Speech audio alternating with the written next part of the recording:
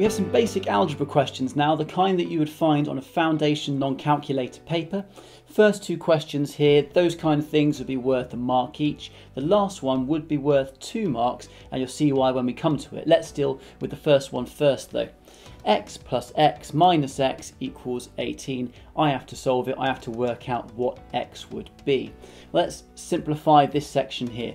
x plus x is uh, 2x, 2x take away x is just x again then, therefore x equals 18. There it is, really simple. The second one, y plus 5 equals 16.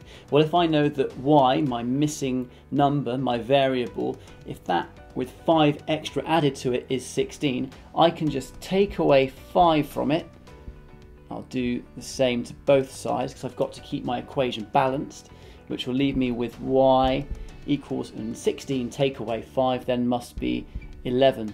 let's go back and check that again. 11 plus 5 equals 16. That works spot on. This final one then. 3z plus 4 equals 19.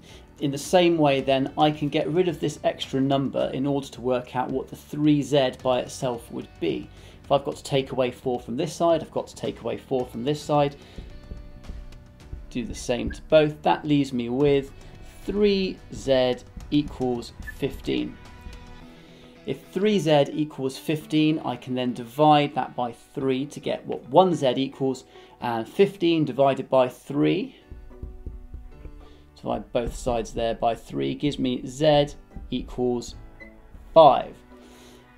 Let's check that through.